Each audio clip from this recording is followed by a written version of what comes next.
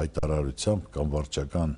որոշումներ կայացնելով բիզնեսը չի կարա զարգանա այլ հիմնական բիզնեսին մոտեցումը պետք է լինի տնտեսական, տնտեսագիտական մոտեցում, բիզնեսի մոտեցում, որ հասկանալով, գնահատելով, հնարավորություն տալով, որ մարդիկ զգան եւ գնահատված են, եւ պաշտպանված են, եւ ապագան փայլ ունեն մարդուն բիզնեսը տեղափոխել, դա ոնց որ ոնց ասեմ, իր տունը, որտեղ ապրում է, սնվում է, նա տեղափոխի գնա մի անծանոթ տեղ, բայց ծանր որոշումը, եթե նա ապագան փայլուն չի տեսնում եւ վտանգ է տեսնում, որ եղածնել կկորցնի, դրա համար կես ճանապարհն ինքը ուզում է գնա անկախ ամեն ինչից, որտեղ որ հավատ կա, վստահություն կա, պայմաններ կան, այնտեղ էլ կարողանա կազմակերպել։ Փոքր միջին բիզնեսին մենք վաղուց ասել ենք արդեն երևի 3-4 տարի,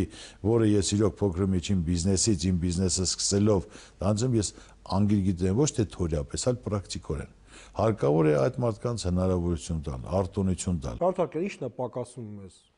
այդ ոլորտում։ Դե որոշում, եթե ասենք որոշումները կազմեն, որոշումները պետք է համապատասխան այնպեսի մարդ կազմեն, որ կյանքում փոքր միջին բիզնեսով աշխատել է, աշխատել է եւ նրա հոգեբանությունն ու եւ աշխատանքը նա գիտի։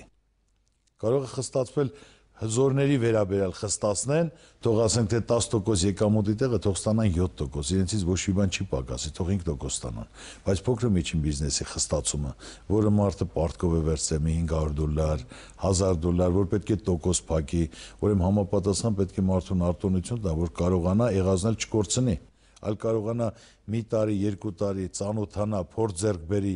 աճ նկատվի, որ համապատասխան ինքը քայլ կատարի, դրանք նոր ծիլեր են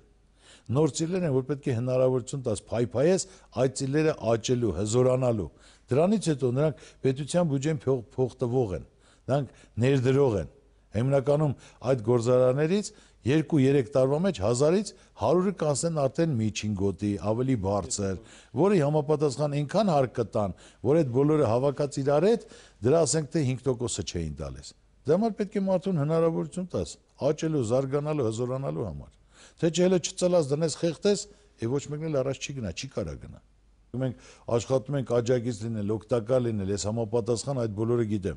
Հիմա մենք հայ-բելարուսական առևտրի կենտրոնը որ բացել ենք, ես այնտեղ հայտարարել եմ, եթե փոքր միջին բիզնեսից մարդիկ գալիս են ապրանք տանելու, դուք իրենց տվեք մեկ ամիս ժամկետով առանց գումար, եթե մարդիկ այդ ոլորտով զբաղվում են, եւ ինչ որ գնով մենք վաճառում ենք մեր խանութում, իրենց 10% էլ զեղչ տվեք որ այդ մարդը կարողանա, ասենք թե տանելով, ոչ թե մեր մոտից տանելով, parza մեր մոտից կան, դա 10%-ը ես իրեն զեղ չեմ տալիս։ Որ նա կարողանալով տանելով նույն գինը լինի, այդ 10%-ը ինքը կարողանա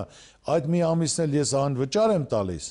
որ ոչ թե ուրիշ տեղից տոկոսով գումար վերցնի, այլ կարողանա վաճառի, վերավաճառի 10%-ը մնա իրեն, մեր գումարն էլ բերի հազը, որ նա կարողանա, ասենք թե ապրի, մի քիչ հզորանա, հասկանա, որ դրանից հետո կարողանա ինքնուրույն գործի։